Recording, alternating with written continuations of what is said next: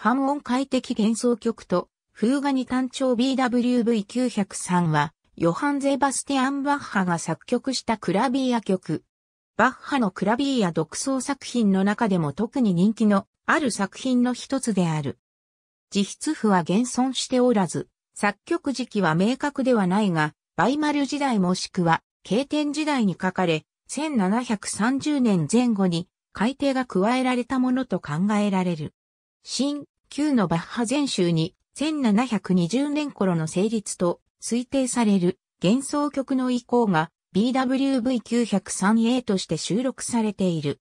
ボルフガング・ビーマーは1720年のスママリア・バルバラ・バッハの死に際して書かれたトンボーと解釈しているが確かな根拠はない。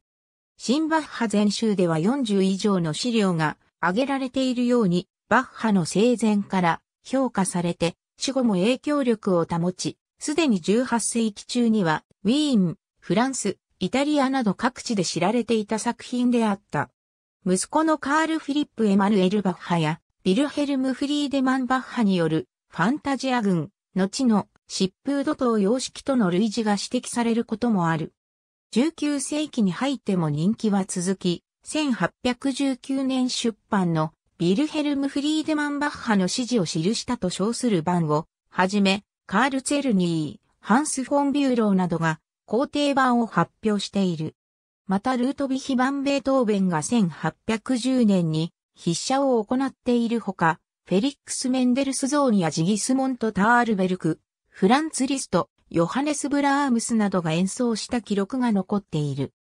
ヨハン・ニコラウス・フォルケルは唯一の存在で、これに類したものは他に一曲もないと評し、アルンフリート・エードラーは非常に多種多様な構成上、表現上の諸要素がこれほどまでの説得力をもって一つにまとめ上げられたことは並ぶ例がないと述べている。幻想曲と風画と題された二つの部分からなり、演奏時間は約12分。ロマン的で即興的な幻想曲は、続調へと向かっていく前半と、レチタティーボと記され、主張に戻っていく後半とに分けて理解することができる。前半は、様々なフィギュレーションで構成された、華麗な特化型様式で進んでいく。後半のレチタティーボでは、マルティン・ゲックが見事にしつらえられた一種の火星の迷路と呼ぶように、半音階的な極めて激しい転調が繰り返される。フォルケルは、バッハが即興を行う際に、24すべての調を自然に通過していったと記し、転調におけるぎこちなさについて、彼は何一つ知らなかった。彼の、いわゆる波音階的幻想曲は、私がここで言っていることを証明してくれると述べている。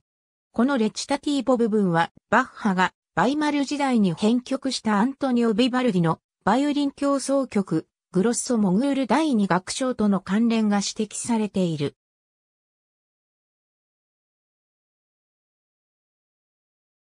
幻想曲冒頭風画は、反音階的な主題に基づく三世のもので、フリードリヒ・ビルヘルム・マルプルクは、著書、風画論の中で、ジローラモ・フレスコ・バルディの反音階的リチェルカーレと並べて取り上げている。ゲックは、風画パテティコとして、幻想曲と調子を合わせると、また、幻想曲と比較して、客観化への契機であり、幻想曲の苦悩に満ちた調子を弱める働きをすると、述べるが、主題の扱いはかなり自由であり、技巧的で長い感想部や、終盤の左手に現れるオクターブ奏法のように、表現的な処方も依然として見られる。幻想曲と同様に遠隔調への転調が行われるものの、現れるのは単調に限られている。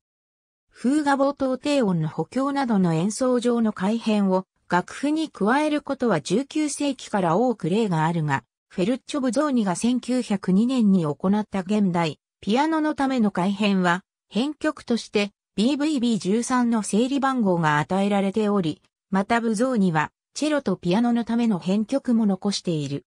他には、レオニード・クロイツァーによる現代ピアノのための改編、マックス・レーガーによるオルガンのための編曲、ラウル・ソーザによるピアノの左手のみのための編曲、ゾルタン・コダーイによるビオラのための編曲などがある。ありがとうございます。